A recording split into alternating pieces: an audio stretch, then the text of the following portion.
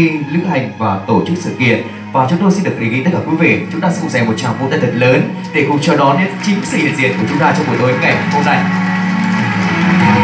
Cảm ơn quý vị rất nhiều. Kính thưa quý vị thân mến, và để tiếp nối chương trình gala tri ân và gắn kết khách hàng của du lịch Paragon Resort Ba Vì trong buổi tối ngày hôm nay, ngay sau đây, chúng tôi xin được trân trọng kính mời lên sân khấu sự hiện diện của ông Nguyễn Tiến Sơn tổng giám đốc của du lịch Paragon Resort Ba Vì sẽ lên sân khấu có đôi lời phát biểu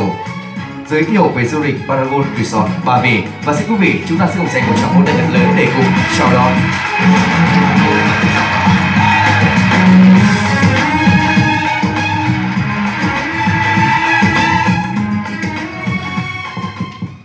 Lời đầu tiên uh, cho phép tôi được uh, thay mặt cho Paragon Resort gửi à, đến tất cả các bạn lời cảm ơn chân thành và rất là sâu sắc. Cho dù ngày hôm nay thời tiết nó không được thuận lợi, nhưng mà các bạn đã dành toàn bộ cái thời gian rất là quý báu của mình để đến à, cùng chia vui, cũng như là để à,